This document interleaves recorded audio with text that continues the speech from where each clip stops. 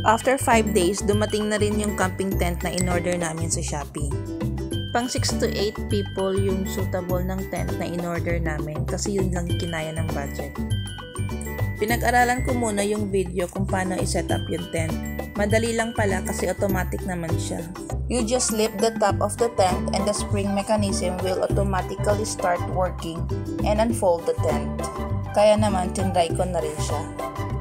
O diba, ang bilis lang niya.